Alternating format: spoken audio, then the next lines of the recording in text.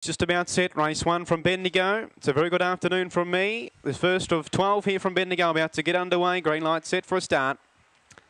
Racing in race number one. Amber getting fast in the centre was Bop Bop down on the inside. Drives through to take the lead over Rather coming across to be second. Whiskey Roads hunting the rail in third just behind the speed. Of four lengths away then to Cut and Polish who's second last and Sunday Sips last on the swing for home. Bop Bop is the one to catch as they swing for home. Coming hard on the outside. Whiskey Road followed further back by Rather. Bop Bop in front. Bop Bop wins the first. Second Whiskey Road. Third in Rather. Back toward the end was Cut and Polish and Sunday Sip. The time is 23.98 the first event from Bendigo.